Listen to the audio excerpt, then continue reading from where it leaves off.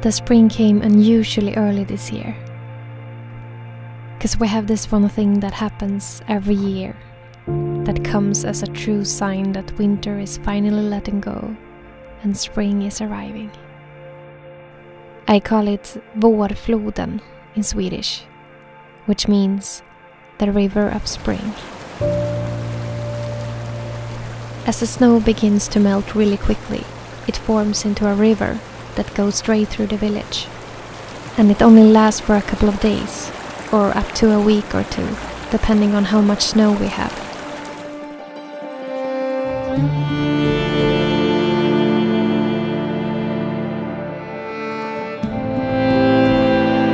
Usually this happens around the end of April, but this year it came a whole month early. And of course, I couldn't be happier. Every year when this happens, I feel this undescribable joy and happiness. It's like the highlight of the spring to me. And I can spend hours outside by the river. I like to imagine that I help melting the snow and that I help the water to flow better.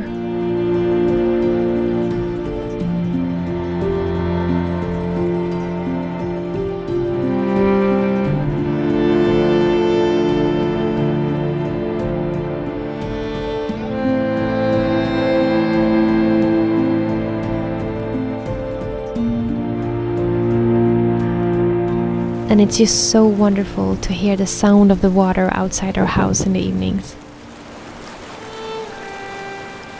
It really feels like everything comes to life again, both in nature but also in myself. It's like it's been in a deep sleep for a long time. And now I wake up and it's like I feel everything so intense.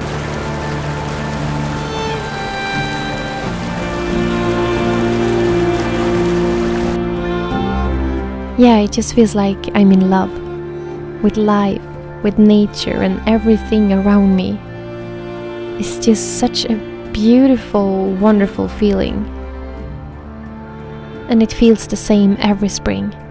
Well, it actually feels even more intense for every new spring that I get to experience.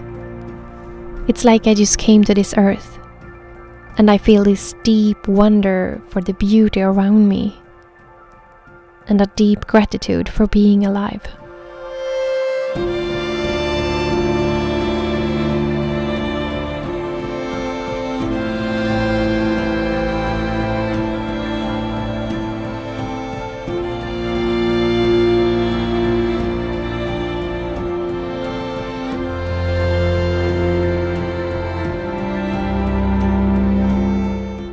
But of course, April is the most dirty and muddy time of the year. And it's actually not so beautiful outside at this time. And if you have a dog, it's gonna get so dirty inside after every walk. But even if it looks like a mess outside, it feels beautiful. It just feels so special to finally see the ground and the grass and the earth again after so many months with snow and to just touch the soil again. I've missed it so much.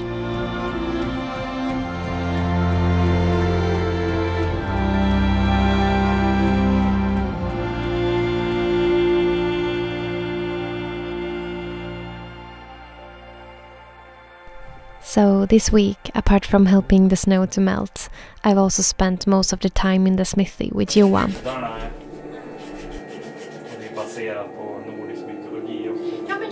As many of you know, we have been working very much with the jewelry making lately. It's been long days and long nights, and it's definitely been challenging for us both to go through so much work. Sometimes it just felt like we would never get done and that we would be stuck in the smithy forever. Both me and Johan are very passionate about our work, and when we have a very strong goal and a strong feeling of what we want to do, there's just no stopping us. We are not afraid of working really hard as long as we feel passion for it and feel that it's meaningful. But already now it feels a lot easier since we begin to see an end of these intense months with so much work. We are soon done designing our new collection, and we have some really exciting plans and visions for the future regarding our jewelry making. So, all this hard work has definitely been worth it. And now it's only one and a half months left until we move to our new house and get some more space. Then we don't need to have the smithy in our living room anymore. More space will make everything so much easier for us. Space. Terrängen är överallt här. The early spring came as a big, wonderful surprise when I needed it the most.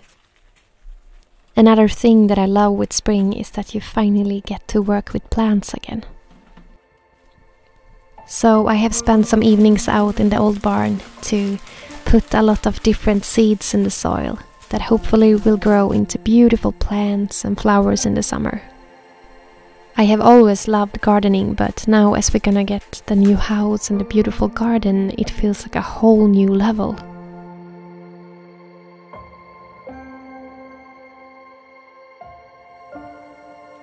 So I have read a lot now to really get the knowledge on what plants would be perfect for our garden.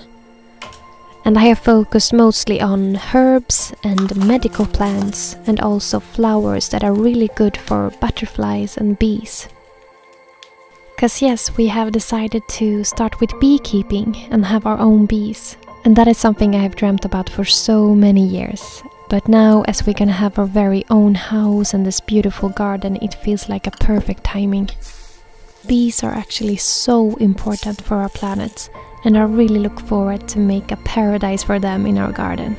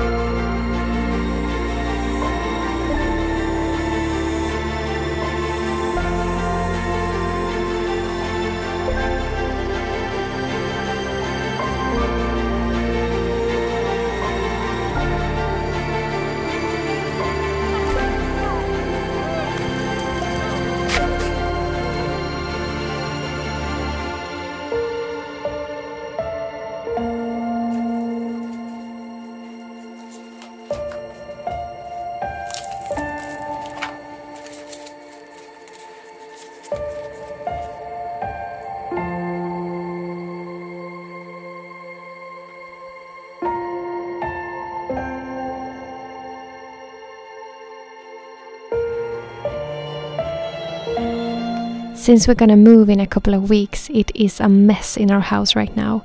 So it's been so difficult to find a place for all these plants.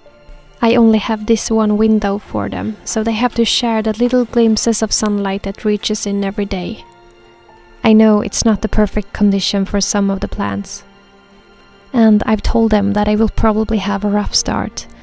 But if they just manage to grow into life and keep holding on these weeks, I promise I will give them the dream life of any plant. Soon we will move, and there will be plenty of space for all of us to grow.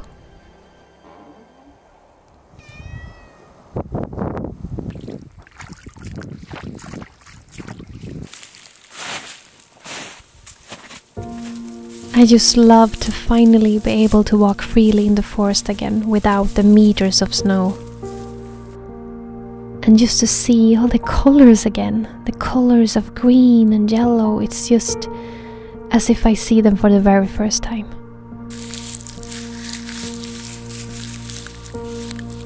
And soon, as the frozen ground has melted, I can begin to tap birch sap, which is also one of the highlights moments of the spring. It's an old myth here that says that drinking birch sap is a way of regaining all your energy after a long cold winter and I definitely believe in that, so in May I always drink birch sap every day. I can't wait to make a video to show you how I do when I tap birch sap.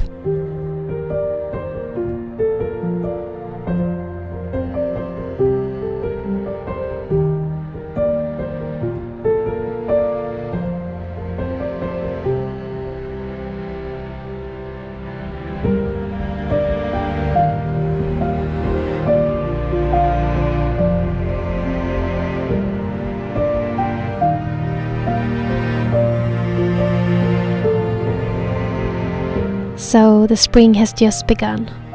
We have all this wonderful time ahead of us, and I so much look forward to experience another spring and summer.